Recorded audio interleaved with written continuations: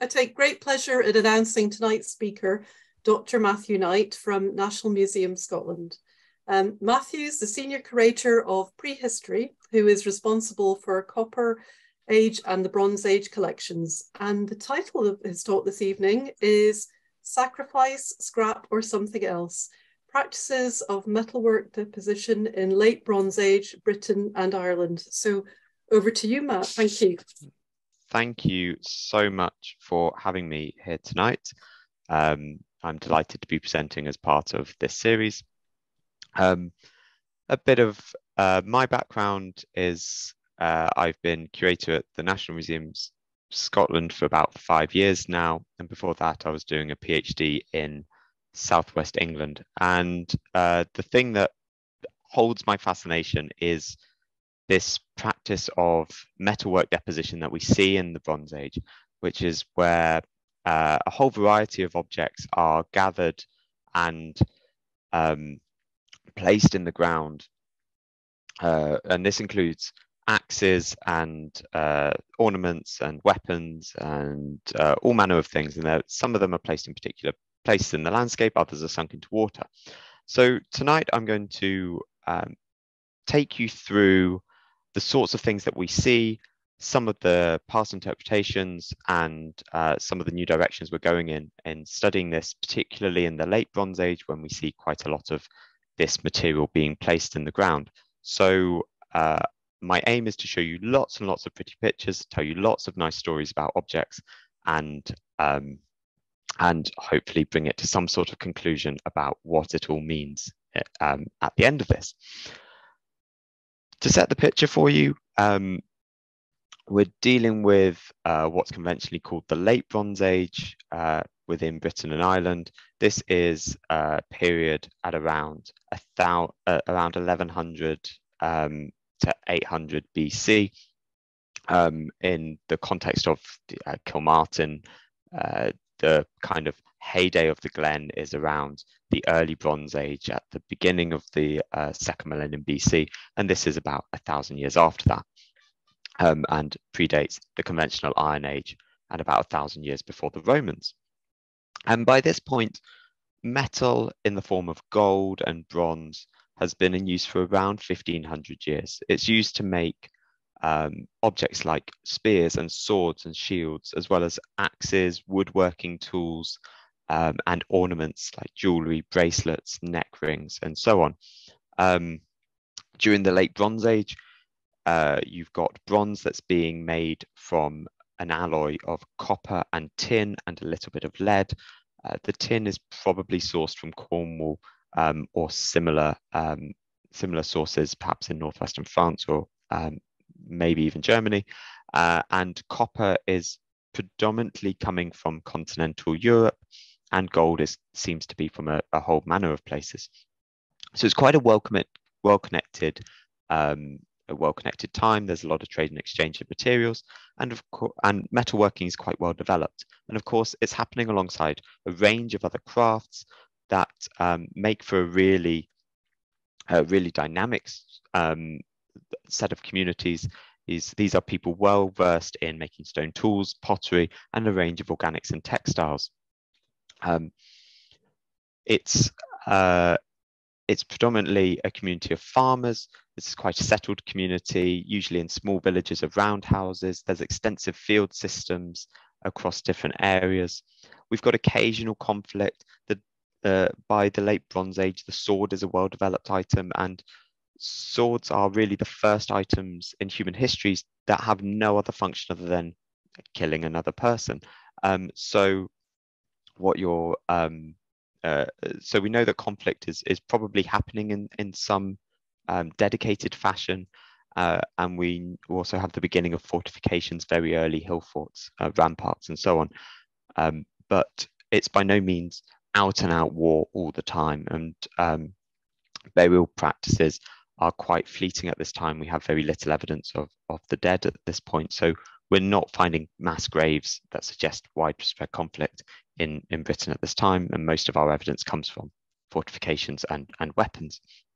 And it's all um, and, and as we increasingly get more ephemeral, more away from the from the, uh, the concrete archaeological evidence, we do know that there are a range of belief systems that um, must have been in place at this time, and they're probably um, we see this through monumental architecture, um, some forms of burial monument, as well as uh, depositional practices. And this all suggests a link between people and uh, cosmological beliefs, the sun, the sky, the moon, as well as uh, intimate interactions with the with the landscape, um, certain prominent areas, and also notably water. Um, and this is often expressed through depositional practices. So this is a bit of scene setting for you. It gives you a sense of the world in which uh, what I'm going to be talking about um, is, is happening in. Um, so the big question that um, focuses attention when we're approaching this topic is often why were things buried? I just touched on the idea of different belief systems, and usually it's this idea that things are being buried in accordance with um, some sort of um, sacrifice, for instance, um, or there's also the viewpoint that some of this material is being abandoned as scrap, no longer needed.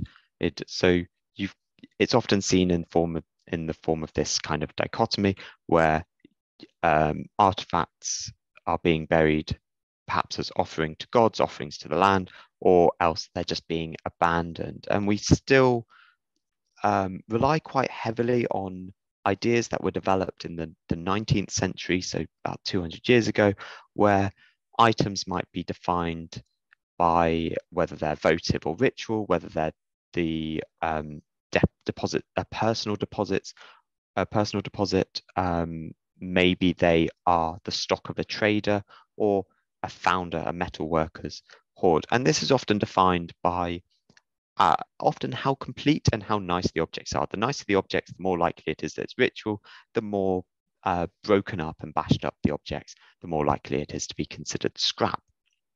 Um,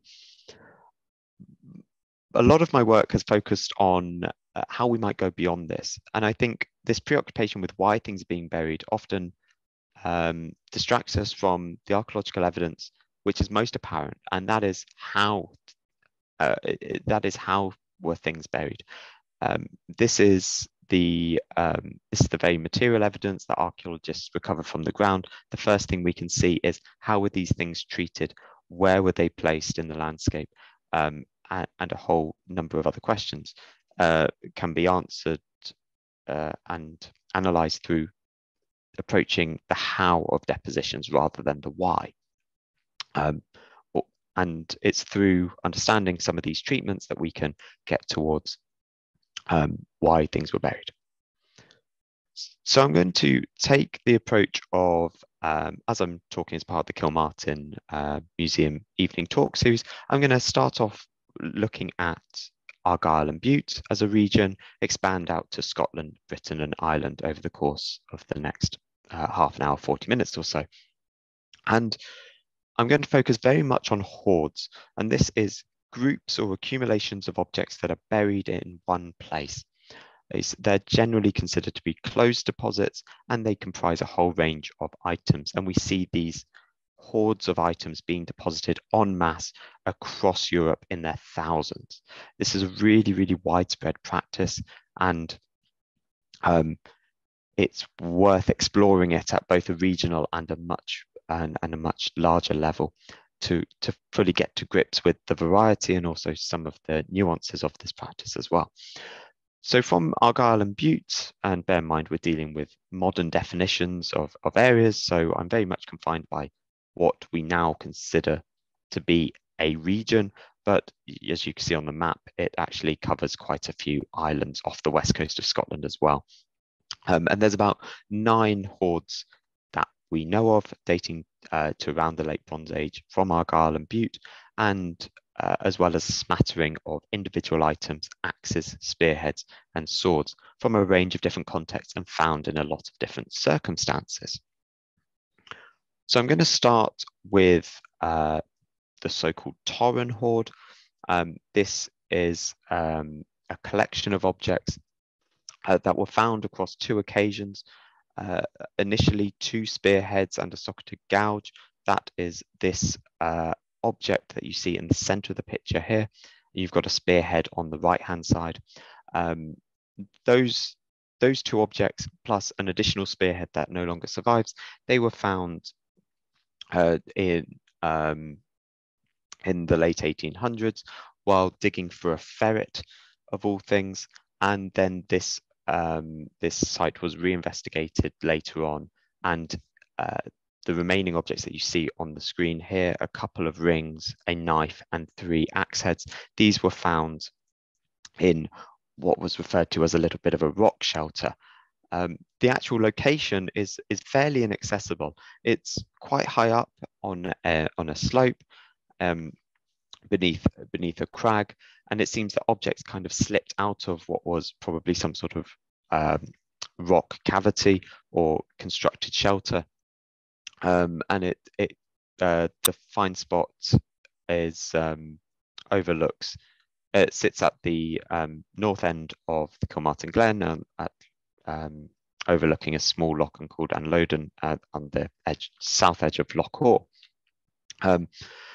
This hoard is generally considered would generally be considered to represent uh, a merchant's hoard of some kind, you know, a trader's stock in items, but it's actually quite a quite an eclectic mix of objects. It's uh, you know, it's got one spearhead, it's got one knife, one woodworking tool, three axes. It's not really a stock of material.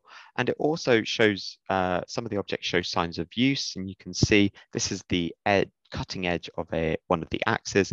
And there are lots of little striations that run horizontally across the edge of the axe. And this is indicative of sharpening and perhaps use wear. So these are objects that have been buried in quite a an awkward location to reach, but quite a prominent, uh, visually striking location. Um, and they're also comprising used objects. So um, there's quite a there's quite a lot more going on with this hoard than simply a uh, a, a, singular interpretation might might offer us. Uh, moving swiftly on, uh, the other quite um, quite intriguing hoard uh, from uh, from the region of Argyll and Bute is this discovery, uh, is this metal detecting discovery from 2014 from the Isle of Coll, the south end of the Isle of Coll. And uh, a metal detectorist, Kenny McIntyre, uh, was detecting on, on this land, identified um, a couple of what he believed to be Bronze Age weapons and reported these to the Treasure Trove Unit and also National Museums Scotland um, who responded by going out and excavating. And what you see here are the remain are the broken fragments of at least two swords, as well as five spearheads and one knife. And as you can see, almost all of it is bent, broken, snapped in half in some way. Very much what would be conventionally referred to as as scrap. Um, because uh, the detectorist uh, had identified more signals in the ground, but had shown fantastic restraint in not digging these signals. Uh, he called in the archaeologist, uh, my predecessor Trevor Cowie, and um, a former Treasure Trove unit officer Natasha Ferguson, and they went out and investigated a series of signals in what was um, uh, what is probably a reclaimed wetland area. It was probably quite boggy during the late Bronze Age. And what these um, what these investigations were able to show was, as you can see from all these all these flags that you see on the on your left hand on the left hand side of your screen, these all represent metal detecting signals. Not all of them are Bronze Age metalwork. Some of them are lumps of iron, but they're quite well spread out. And so um, Natasha and Trevor excavated small areas around these signals, digging down and recovered uh, a variety of Bronze Age metalwork. And usually what we what we're seeking to find when we undertake these sorts of excavations is some evidence of hu uh, of human made context you know maybe a pit that these objects were once sat in or a ditch or something like that. And what was intriguing about these this discovery is that each of these objects seemed to sit in what was natural subsoil. They seemed to be suspended at different depths at different heights. And it's speculated that actually these objects uh, were probably sunk in to a, wet, a watery location in the late Bronze Age across this wider area. And there's in fact a, a nice little rocky outcrop nearby that um, might have been the launching pad for throwing these things into into into the marsh. And what's even more significant is that we've got um, is because these objects are are broken um, in lots of different ways. We can say something about the way that they were broken, and this is based on uh, various experiments that I've done and others have done, where uh, it's not quite so easy to just get a Bronze Age sword and just snap it in half.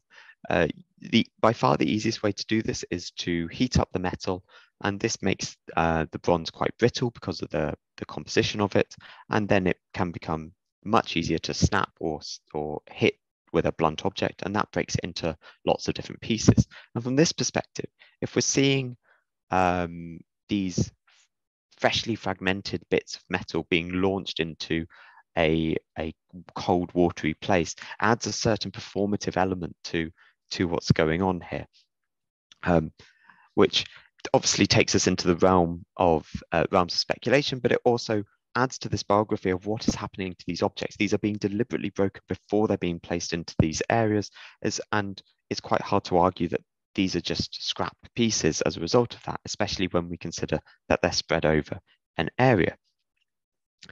A spread of metalwork might normally be considered perhaps a dispersed hoard, perhaps through ploughing, but that's clearly not what's happened here. And because of the anaerobic conditions, it's actually possible um, some of the uh, material has actually survived in uh, some of the organic material has survived in three of the spearheads. The um, wooden shafts that would have hafted the spearheads uh, survived enough to be dated, and uh, it was possible to get some radiocarbon dates that quite precisely dated the time in which um, the spearheads were probably in use or close to the point of deposition.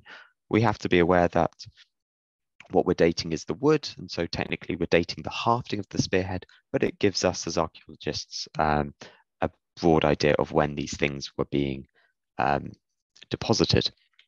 And what's quite intriguing about this set of dates is they cover a really, really wide span. So you've got um, three spearheads with three separate dates that sit across this time span within the late Bronze Age.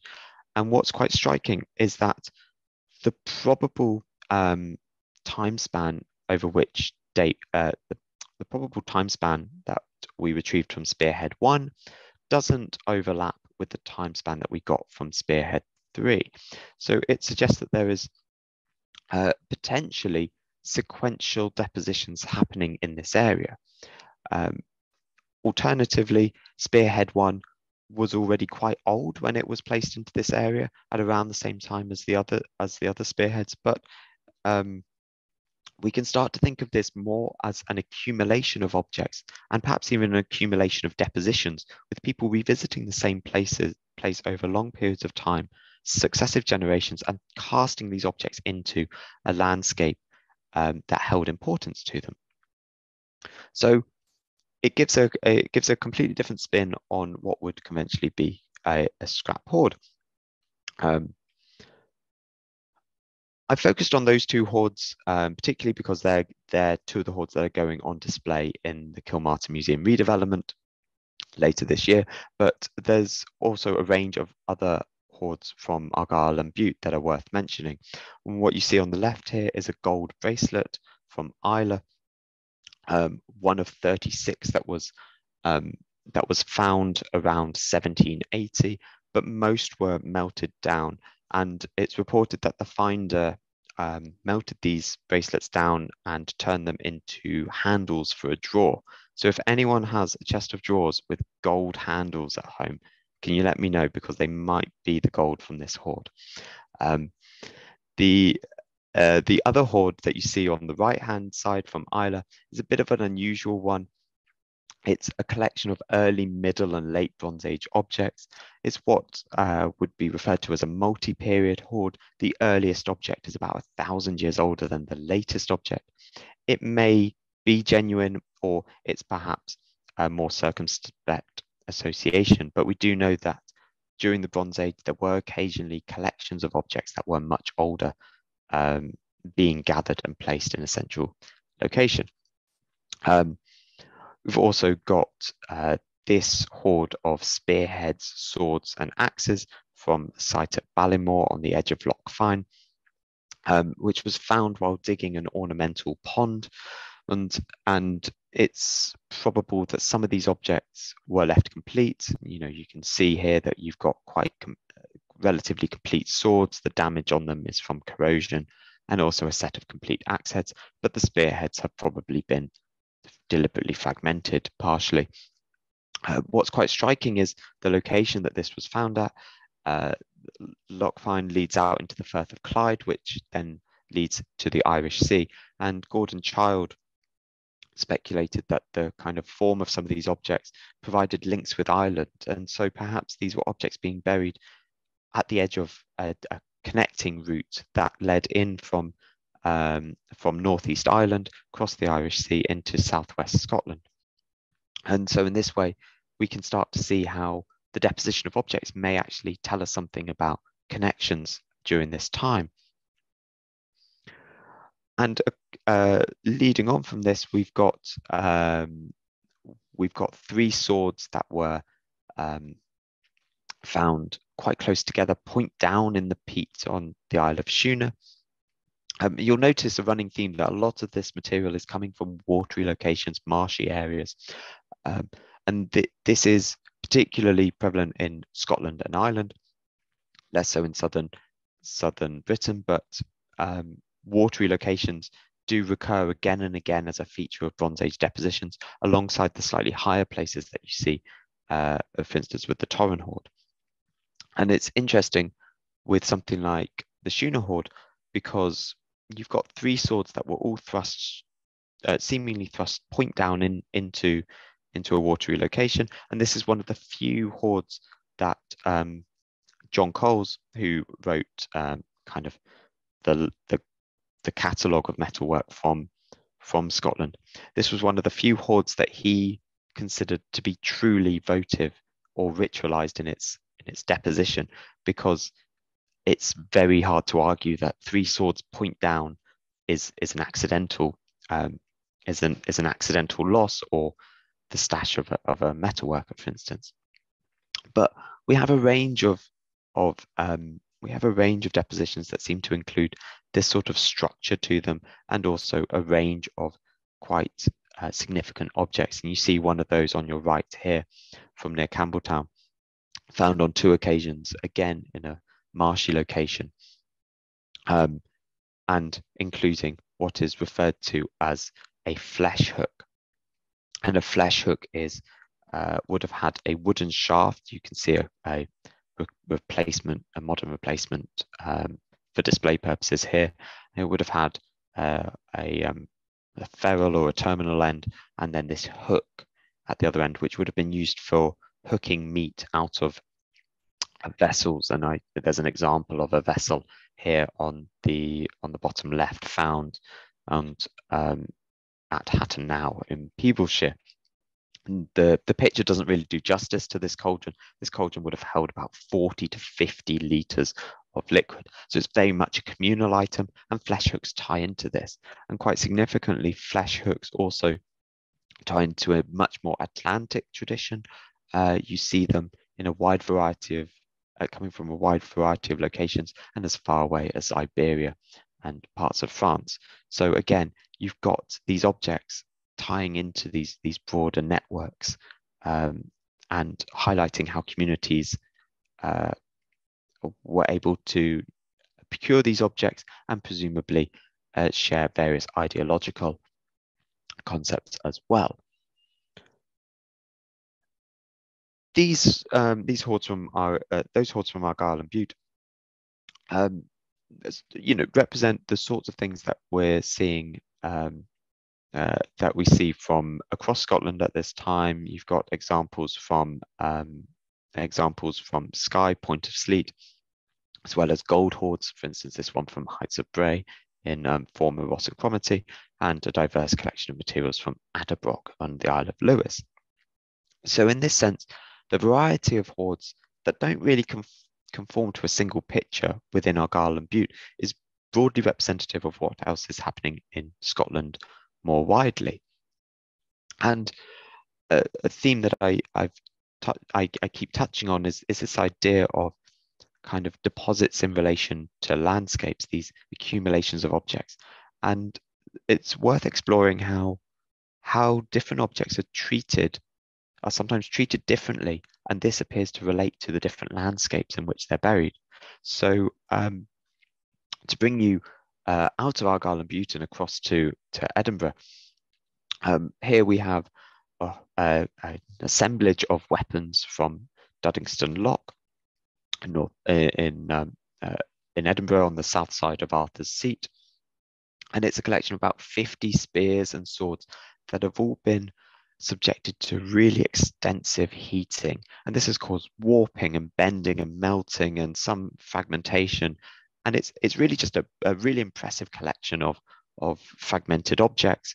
Again, typically considered scrap, but as I mentioned for, um, for the Coll uh, group of material, we may conceptualize performance associated with this in terms of gathering up this material and, and burning it. Um, and setting fire to it in ways that um, go beyond what was necessary for recycling, for instance, or go beyond what was necessary for, um, you know, scrap suggests worn out material, but this is anything but worn out. It's been deliberately decommissioned.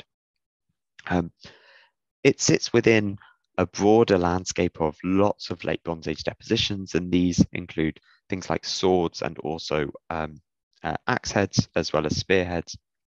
And Edinburgh has quite an unusual density of, of hoards and yet no single finds within within a, a relatively small geographic region. And the star on the um, the star on the the map is is Duddingston Loch, but none of the objects show the same level of decommissioning that um, you see um, at Duddingston Loch. And so what you have is uh, the assemblage of weapons recovered um, and notably recovered from towards the center of the loch. So it's not slipped in at the edge of, of the loch, It's actually been uh, material must have been piled onto some sort of boat or vessel and actually moved out towards the center of the loch um, and thrown overboard. Essentially, it's um, it was found while dredging in uh, in the 17 in 1778. So it's got quite a long history to it but it contrasts quite dramatically with what else is being deposited in and around Arthur's seat and this um, and this quite high landscape. So you can see uh, in the in the top left, I mentioned actually that there were no uh, very few single finds from the Edinburgh landscape, and actually the the axe head in the top left is one of the very few found entirely by chance while someone was out walking uh, in and around the area. But you've also got two swords that were buried high up on the slopes overlooking Duddingston Loch, found on a bed of charcoal, as well as two, um, at least two socketed axes. There's reports that there might have been more, um, but only two survived today from um, near Salisbury Crags, Samson, uh, a area called Samson's Ribs. So quite prominent locations overlooking and you'll see that in contrast with what was sunk into the waters of Duddingston Loch, these objects have been left pretty much completely intact. They show some signs of, of use wear in terms of uh, they might have been engaged in conflict. They were certainly prepared for use, sharpened, hammered, and were, um, to all intents and purposes, very functional items.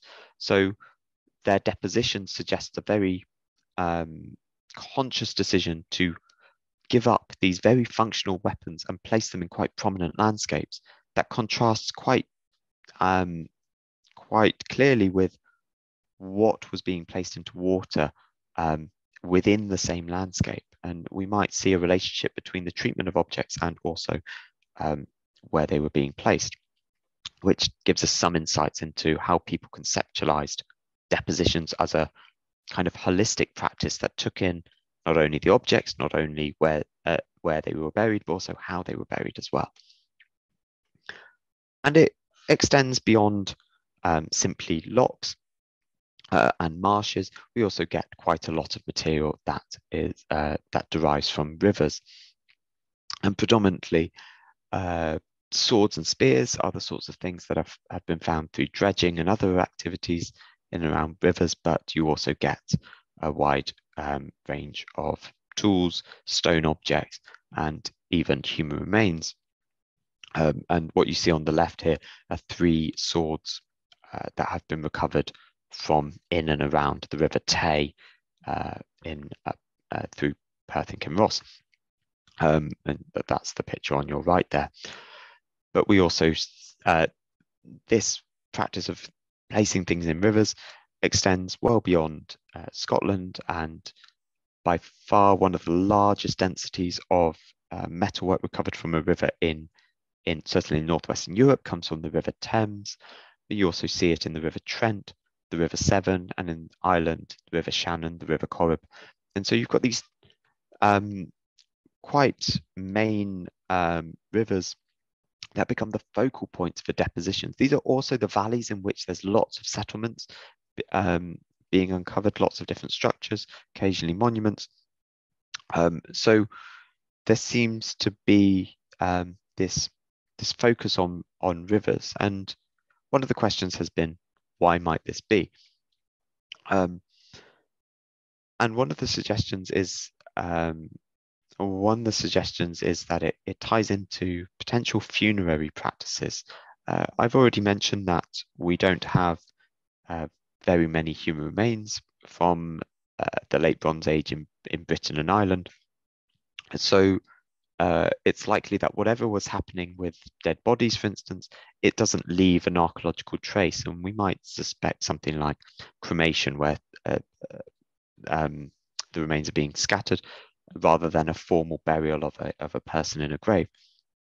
And uh, this uh, limited evidence of, of burials makes it all the more striking when we uh, when people have radiocarbon dated human remains from rivers and found that they actually date to the late Bronze Age, suggesting perhaps that uh, uh perhaps that bodies were being placed in rivers. And here you see a, an imagine an, an imaginative um, funerary pyre um, where people uh, on the edge of the River Thames, people um, holding a ceremony, and this person on the left holding up a sword uh, to be thrown into the river as part of the funerary rite. What I've presented so far is a lot of nice complete objects, um, a, a, a, few uh, broken objects, but um, by no means uh, in in some of these areas do you see kind of fragmentation as, as the dominant practice. Although you'll often hear late Bronze Age hoarding described in terms of the high levels of fragmentation. And the reason for this is because of the huge, huge volumes of broken up bits of metal that have been found, particularly in hoards of southern Britain. And these run into uh, these run from small accumulations of 10 to 20 objects right up to several hundreds. And in fact, the largest hoard in Britain is six and a half thousand fragments from a site called Isleham in uh, Cambridgeshire. Um, and so that's kind of given, uh, that's kind of sparked the general idea that most hoards are, are fragmentary in some way. Uh, and in reality, much of the fragmentation, much of the very densely fragmented objects that are typically considered scrap are quite well concentrated in um, southern England, uh, southeast England, and other uh, and and more broadly across southern Britain. The map you see is by no means um, uh, no means a comprehensive map of hoards. What it actually shows is uh, part of a tradition referred to as the carp's tongue tradition. This is named after a type of sword that commonly appears in hoards. Um, which is one of these a long blade, and right at the end of it, um, it tapers in to a point that apparently looks like a carp's tongue. Um, I can't say that I've been looking in the mouths of, of carps to know what this looked like, but somebody with an interest in swords and fish uh, must have named this at some point. Anyway, it ties into a broader tradition uh, across southeast England and northwestern France, where hoards were um, hoards had a particular character in not only being highly fragmentary but also very eclectic with lots of quite diverse material axes swords ornaments and large numbers of ingots some complete some broken but showing very similar practices across the channel between southeastern England and kind of Atlantic France. And these hoards are generally deposited in lowlands, occasionally in, uh, uh, often um, along river valleys towards coastlines. And it suggests this kind of connected practice spanning the area. Um, but we also have evidence that hoards that conform to a very similar character are um, are being found elsewhere as well. And so re most recently, there's been a cluster of hoards recovered through metal detecting that have come up from Cornwall. And here uh, is a group of material, uh, broken ingots, broken axes, fragmented buckles, and, and, and uh, bits of blade that were recovered from St. Michael's Mount, which is this prominent tidal island off the south coast of, of Cornwall. It's a very evocative place. You can only access it at certain parts of the day. Uh, it's one of uh, it's considered a landing point uh, for prehistoric and Roman times, and uh, where people would have people would have landed in in this area from crossing the channel, and yet it ties into these this and a variety of hoards that have been found recently tie into this cross-channel um, network in a way that we we hadn't previously seen, but the, the style of the objects and the treatment of the objects certainly suggests this. Um, and even more so, we're seeing this type of material cropping up in southwest Wales, and it's quite striking that actually we don't see this types of these types of material coming up um, elsewhere so much along the south coast. You've got a very dense concentration in this uh, southern part of England on on the east side, and then suddenly a cluster in Cornwall um, with one or two odd, odd instances. And, it, and then again, you get it in southwest Wales. And what it suggests is that whilst much of this material does look like worn out scrap, it looks like material that um, has been fragmented and just gathered and buried in, in, in a pit. It doesn't really strike any sort of particular, particular like ritualization, for want of a better word, it does once again tell us something about how this material was being moved and how communities were connected. And recent metal detecting is continually adding to that picture uh, by presenting some of this material coming up from um, coming up via Cornwall and Southwest Wales. But it's important to note that fragmentation is not for everyone there are lots of lots and lots of hoards from Britain and Ireland, and entire and indeed entire areas of um, this this part of the world where hoards were not fragmented before they were placed in the ground. So northern Britain, for instance, doesn't have many fragmented uh, doesn't have that many fragmented hoards. Hoards you instead get collections of axes um, sometimes buried in high locations.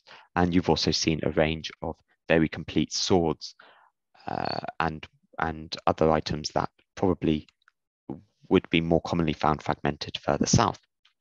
And similarly, in, uh, in Ireland, you also get uh, far more complete objects than you do incomplete objects.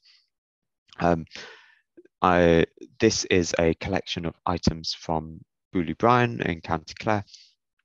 And it includes rings, axe, uh, slightly broken axe heads, heads, as well as a pin and fragment of a sword. And all of these items, albeit not necessarily complete items, they were all placed in this fantastic um, horn that you see on the left here. And this horn was uh, then wrapped in a goat skin and buried in in a bog. And again, it suggests what it suggests is that even if these are dismantled objects or fragmented, um, fragmented bits of axes and swords, should we be considering this scrap? There's been a deg certain degree of care attributed to this that we don't necessarily see elsewhere.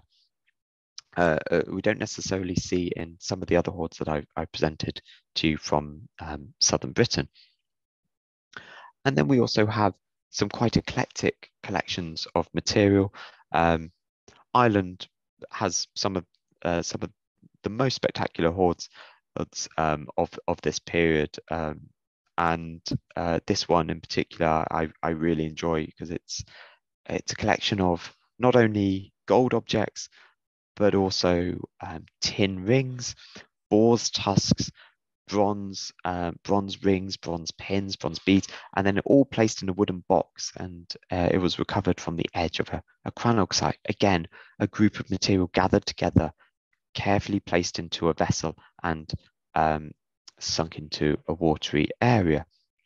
And indeed, much of the hoards from Ireland are retrieved from these watery locations. Perhaps the most spectacular uh, uh, one of the most spectacular bronze hoards from from Ireland, and certainly one of the best best known is this is this hoard from Dowris, which uh, actually defines the late Bronze Age period in Ireland. It's commonly this period around 900 to 800 BC. It's referred to as, as the Dowris period, and it, this comprised over two uh, around 200 objects.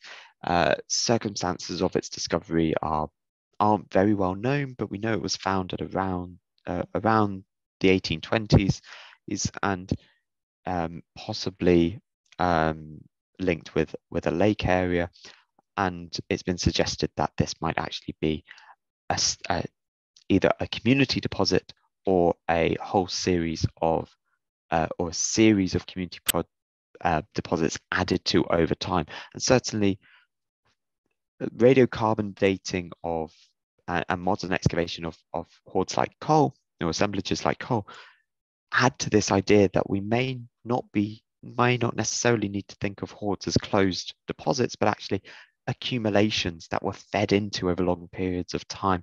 Um, you know you can see from this list of objects five swords 44 spearheads 43 axes 48 crotals which are these little kind of music bells, um, as well as 28 horns. This is not the wares of, of a single individual or perhaps even a single person, a, a, single community. You know, this is might represent the coming together of lots of different people over long periods of time revisiting the same area. By far, um, Ireland is known for its late Bronze Age gold at this time. Um, we find gold, hoards of gold objects in lots of locations across uh, northwestern Europe. There's smatterings of them across um, across uh, Britain, but the quantity and the quality of material that comes out of Ireland at this time is just remarkable. And here um, I have a hoard from County Clare of at least 146 ornaments that um, were found um, packed into a, a, cavity, possibly in a wet area. Again, this recurrence of wet areas um, between two locks. And um, much of it was unfortunately melted down upon discovery. You can see here that uh, what you see here are mostly replicas to give an indication of the scale of the hoard.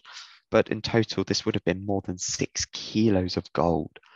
You know, you, we often think of um, some of gold objects communicating identity status. Maybe a powerful figure would have been able to wear one or two, but 146 ornaments goes so far beyond what one person would need to wear, or even multiple chiefs or chieftains would be capable of wearing.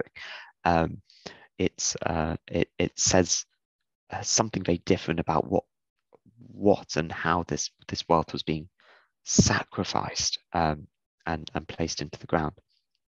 Um, it suggests again the coming together of lots of different people, but all conforming to the same idea. You also need people to subscribe to this idea of deposition, of giving up these objects, that giving up these objects means so much that they're better off in the ground than they are in your in your care. It's been suggested that this might be a, a hoard for safekeeping, but again, the volume of items is is is such that it it strikes me as far more intentional and, and permanent than a temporary store of, of material. And here's another view of it that shows not only the bracelets that were buried, but also a series of, of neck rings. Um, it really is quite a quite a spectacular um, collection.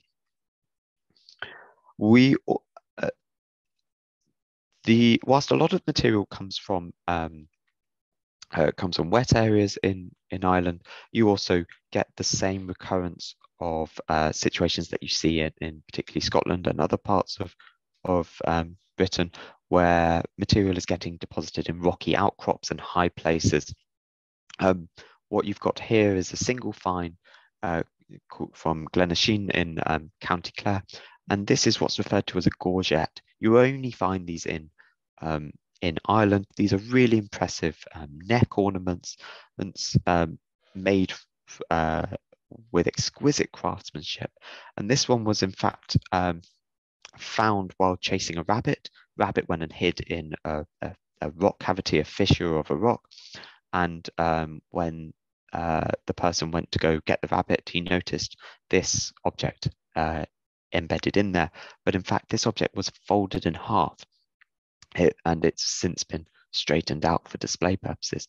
Again, it suggests um, an intriguing treatment of of objects that um, that kind of defies a rational explanation. You know, folding one of these in half is almost a, a an act of of decommissioning, of taking this out of use, of a deliberate act as well. I've shown you some quite spectacular finds of gold, but um, often these are relatively small groups, and we can envisage these as much more community deposits or um, or the the own ownership of one person uh, or, or, one community. Um, but I've also mentioned, for instance, the slightly larger ones uh, that we know about from historical records, such as the one from Islay of 36 um, gold bracelets. And whilst these suggest quite purposeful sacrifice, it's um, we do also have a range of hoards that really throws into question our interpretations of what is considered scrap and what is considered um, sacrifice. So here is a collection of material found while metal detecting in 2017 from the south coast of Devon. Um, it comprises four folded gold bracelets and a collection of ingots and broken axes and swords. And if you found the bracelets together, we would generally consider that some sort of personal or votive offering. If we found all the ingots um, in a in a place together, we would consider that some sort of scrap or, or abandoned uh, set of abandoned material. What does it mean when we find both together? What does that tell us about why and how these things are being buried? Is it our modern conceptions that this broken up bit these broken up bits of ingot and axes and sword seem valueless to us, but may have actually had some sort of greater value in the Bronze Age that we're not recognizing. And this isn't um, this isn't just a one-off. Here we have two hoards from North Wales, the hoard on the left from Anglesey from Kincardine uh, includes gold ring, uh, an ornament perhaps for the ear or maybe even the nose, alongside some fragments of ingot, and a, a curious um, short blade um, that's broken in half, alongside a complete axe head that has fragments of gold bar placed into the socket.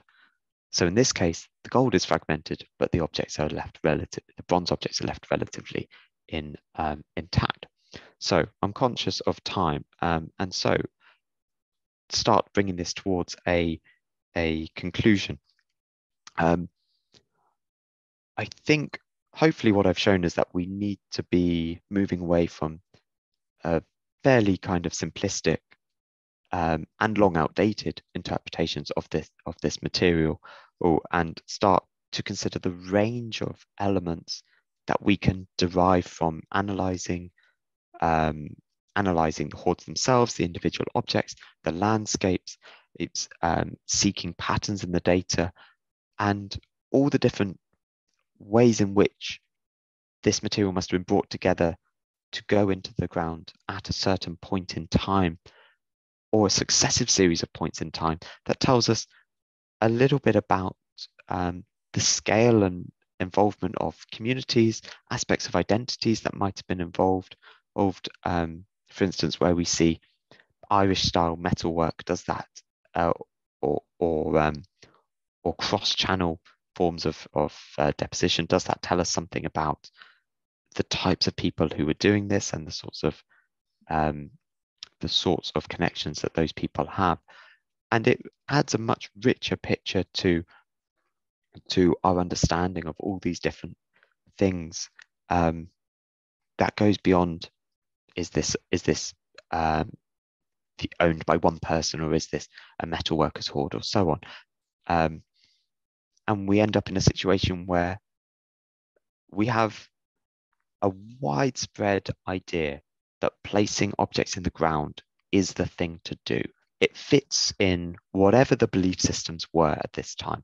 And we have to be honest in saying that we're dealing with pre-literate societies. So we're never going to know exactly all the intricacies of religion and ritual that are happening at this time. But one thing that seems integral to the manifesting beliefs is burying objects. And this seems to tie into the wider picture that's happening not just in Britain, not just in Ireland, but across Europe at this time. Um, and people are taking these broad ideas and they're doing them in very specific ways that reflect individual connections and social relations. And by social relations, I mean not just um, with between individuals, but also between um, communities, between people and objects, and people and places, um, and also uh, wider ideas that they may be connected with. So when we come to this question of are we looking at sacrifices of material or are we looking at scrap material, I think uh, in many cases we may be looking at both or neither or um, uh, uh, and I, th I think a far more interesting angle is to is to think beyond this kind of dichotomy and consider that these are expressions of of beliefs. Beliefs um, even if that belief is you should abandon the material or that belief is you should thrust swords into watery locations um, it it adds a lot of nuance to our understanding of of uh, people at this time and how they were all connected um, and it's these sorts of things that that really help us understand meaning to, to Bronze Age communities. So I'm going to end on that point. Um, thank you all so much for listening. Um, and I'm very happy to answer any questions you may have. Thank you very much, Matthew. That was so interesting. I, I really enjoyed that. I'm especially taken by when you went to Shuna because I used to live on Shuna mm. many years ago. Wow. So, so yeah, um, so seeing them in the museum was fantastic for mm. me when I was there we, we, we've had we've had a few questions mm-hmm. from the start, and um, I know that Patrick Mackey had something. Patrick, do you want to come in? That you talked about about the um, the Torran, Ford. If you're not there, Patrick, I can say it for you. Um, no, Patrick just wanted to let us know that that where whereabouts the um, the find was, mm. they've actually started to fill that area again. Oh, have so they? Lots of the crags are exposed at the moment. So. Oh, uh, that's good to know. Yes, so it, it's an area that's managed by the Forestry Commission, and when I've been there before, it's it's completely covered and fairly inaccessible. But uh, that's interesting to know. I have tried to get up there before, but yeah, just well, not possible. Well, when you come and visit us, it might be a good a good chance to come up oh, and have a excellent. look. Yeah, no, that, that was great. That was the first one, hmm. and the second one was Linda Merrill. Linda, do you want to mention your question or shall I read it for you? Is Linda there? Um, Linda is um, saying that in Millom, southwest Cumbria, a local metal detector has found a small hoard of five Bronze Age axe heads, which mm. was extremely rare in the area. Mm. So it's quite a recent find, I think. Mm. Yeah, it's. Um, I mean, that's the obviously trying to cover all of Britain and Ireland, there there end up being being gaps, but um, one of the things I, I didn't mention so much is is you do have regions where hoarding is just pretty absent altogether, and Cumbria is one of those one of those areas. So it's always quite striking when stuff does come up because it, yeah, it it gives you a very you know a very specific snapshot of a particular time, yeah. Um, which yeah. And John, no, it was John Rosenfield. Do you want to say, John, you're there? I can see you, but I don't know if you want to unmute and just you, you were mentioning something about a logboat. Um, yes, I work. I, I, am from BAFM, the British Association of Friends of Museums, mm. and when I visited Perth, it was the Carpow logboat that was buried in the silt of the mm-hmm. Tay River, um, preserved by the, the silt. Yeah. Um, and I, I don't know if that dates from the same time or mm. not. Yes, it does. It does. Uh, yeah, that's a it's an incredibly remarkable remarkable find of this um, hollowed out um, hollowed out logboat that would have been used to travel up and down the River Tay um, uh, three thousand years ago. Um, yeah, it's currently under it's currently under uh, conservation work, but that's uh, they'll be going back on display in Perth Museum in I think next year. So yeah, no, if you if you can get out and see it, it's it's quite incredible. There's a there's a fair number of late Bronze Age boats from around um, from around Britain and Ireland, and yeah, they they again they add another element to the idea that people are moving around and you see some of these things and you think I would not want to get into that and get on get on a river and some of the things you see that they use to cross the cross the channel are just yeah phenomenal um it, it's yeah, it's quite striking. Uh, yeah. Thank you. Yeah, with our with the weather that we have in some places, mm. you can imagine the challenges from there. Yeah, yeah. I'm I'm a, I'm a keen kayaker, and there there are some days I'm just not going to go out there. I know, and it, I mean, you see, you know, people are are crossing a place like the Minch and and out to the Outer Hebrides, and you you know in in a hollowed out canoe basically, and you think, you know, I barely amazing. want to do that in a regular boat. no, it's really impressive, isn't it? Yeah. And there was a, a, really interesting question as well from Richard Willander as well. Mm. I don't know if you want to ask it, Richard, or do you want me to say? Are you there, Richard? Oh, you're there. Uh, well, thanks, Jacqueline. Matt, thanks very much indeed. That was a fascinating talk. Um, no, I just wanted to know um, if there was how how are the uh, how is the bronze work fragmented hmm. physically? Is it is it cut? Is it hammered? Is it, hmm. and um, and is is there anything significant in that? Uh, yeah, I it, it's that's a really really good question. Um, it's basically what I did my PhD on, um, oh, which, which is so that's very very uh, uh, it's a really good question. Uh, it's basically um, you often see bits of metalwork that have hammer blows or chisel marks on them. And um, that's been suggested to be the way that these things are fragmented. Um, that's broadly true, but because of the nature of the bronze alloy, um, it, you have to heat it first. And when you heat it, um, the bronze goes quite brittle. You have to heat it to about five or 600 degrees. And then at that point, it basically becomes so brittle that no matter the object, it could be an axe, it can be a spear, it can be a sword, um, the blunt impact of a hammer blow will will cause it to snap. Um, and you can use a chisel for this. Um, and in my experience, you don't need a chisel. You just need to have got it to the right temperature and be really confident with your strike. Um, I did this with a series of replicas, and I found the only times I left chisel marks was when I got it wrong. So the only the failed strikes are the ones that did are the ones that leave chisel marks. And the when, you, when I got it absolutely right and split the sword, it it left no chisel marks whatsoever.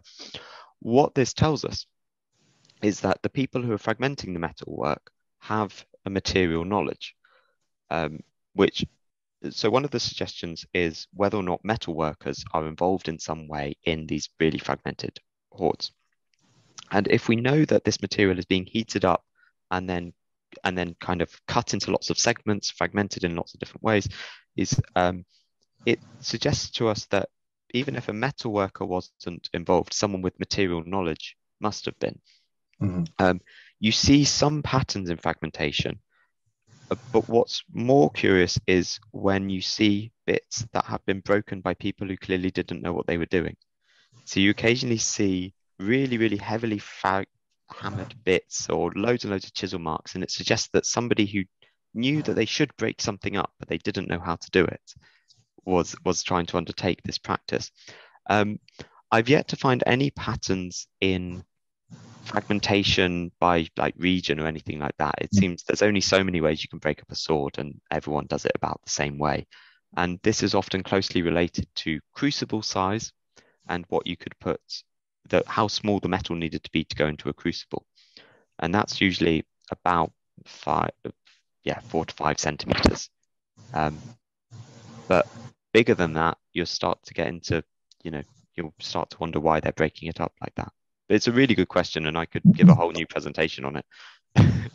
well, I'll, I'll, I'll, make a note of that. well, one of your earlier slides showed um, you showed I hadn't come across it before um, a hafted chisel. You described oh, yes. it as a hafted chisel. Yes. Well, do you think that was an object, uh, uh, an implement to help breaking to break up some of the? Yeah, potential potentially. I I think it's we have. So you'll have seen that a lot of what I showed were axes and swords and things mm. like that. And the reason for that is that we have a disproportionate amount of those in the in in our hoards and in in deposits. So you have got evidence of small tools, but some of, something like a bronze chisel, for instance, it could be used for um, it could be used for leather working. It could be used for fine woodworking. It could also be used for chopping up bronze. It's probably one of these very multifunctional tools. Yeah. But yeah. something like that chisel could easily be used to break up bronze. But uh, for instance, we don't have we don't have many hammers, but we know they must have been hammering all this stuff, either for working it or for breaking it up. But mm. we have only a handful of them from from Britain. It's quite um yeah, there is a dis- disconnect between the tools they must have had and the tools we ne- that now survive. Mm. So. Fascinating stuff. I think yeah. I've had my time. Thank you. Thank you, Richard. Thank you. And then when you were talking about the um, the gold hoards that were mm. found in in Ireland, there's a there was a something there from Sheila about mm. an archaeologist Henry Schliemann. Um, I think well, uh, the, the man the man who went through Troy. The um, man who went through Troy. Yes, exactly. Yeah, and um, yeah. And then we've also got a wee comment from a, a question from Joan Patterson. Mm. Um, Joan, are you there? Do you want to ask about your? Are you there, Joan, or do you want me to ask? Um, question from Joan was um, where the gold was being sourced from. Hmm. Actually, that was something I was wondering. Are there yeah. local quarries, or do you think they've been trading it? So, what, what what are your views on it? Uh, it's a fantastic question. Um, I don't know the answer, but the work hasn't been done on it. Uh, we know so we know that uh, whilst Scotland has natural deposits of gold, we have no evidence that any of that has been exploited in, from as early as the Bronze Age. We know that sources of big sources of gold in in um, Cornwall and Ireland were being exploited. Um, the Cornish gold sources seem to generally be linked with tin. And there's very, very, I mean, tin is an interesting one because there's very, very few places in Western Europe where there are deposits of tin. And someone once told me that Cornwall has the largest depo- natural deposit of tin from here to Afghanistan or something like that. Something quite quite striking. But there are other sources in um, Iberia and Germany. When it comes, so the reason that's important is because if you're exploiting already exploiting tin from Cornwall, you're probably also exploiting gold. But um, at the same time, copper is being extracted from Wales and also Ireland, and these are also big sources of gold as well. So it's quite difficult to provenance gold, and there's um, there's various bits of work being done currently to try and narrow this down. Uh, but our best guess is is the in for Britain and Ireland, it's Cornwall and um, Cornwall and Ireland that uh, like South um, West Ireland um, that these are coming from. But it's um, yeah, it's a question that remains to be answered. And as to the provenance of Scottish gold, we we really don't know. We really haven't answered that question yet. So right, And I'll, I'll be looking at the handles of drawers that I see yes. very closely. yeah, one thing that struck me going through uh, how these hoards were discovered is how many have quirky stories attached to them. You know, mm. someone chasing a rabbit or a ferret or melting everything down and making drawer handles. So I know. I know it's great, isn't it? Sometimes yeah. it's things like playing marbles with yeah. things and then realizing there's something very exciting there. Yeah. But uh, no, it's great. It's really good. Hmm. I think I think that's all the, the questions now, um, Matthew. But thank you. That that I've really really enjoyed that. That's been super. Thank so you. Thank you very much for talking to us. Well, thank you very and, much for having me. And I'm looking forward to coming back to the museum and having a good look around in my next visit to Edinburgh. Mm, so yeah, you're very welcome. Thank you. Thank you. Thanks again. Um, as, a, as I've said before, this is being recorded. So if you want to watch anything back at all, it should be out. And after um, Aaron Watson, our expert, has um, had a look through it and edited it all. So it should be available on our YouTube channel along with all our other talks that we've had as well. Um, and just to say that the next talk that we've got is on the 16th of March and it is talking torques, south to north or north to south, with uh, Dr. Tess Machling as well. So um, I hope I've pronounced that right. But on behalf of Art Museum, thank you again, everybody. It's been fantastic having you from all over the world again. Um, I've really enjoyed this evening. So thank you again, Ma- Matthew. Thank you, Matt. And, and, it's all coming up. Excellent talk, very interesting. Thank you very much. Thank you. Thank so that's been brilliant. Yes. So thank you and good night, everybody. And we'll see you next time.